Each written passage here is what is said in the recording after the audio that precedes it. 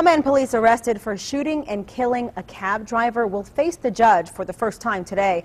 Last night, New Franklin police were called to an apartment on South Main Street after shots were fired. Witnesses say a man shot a cab employee multiple times in the parking lot, then he just took off.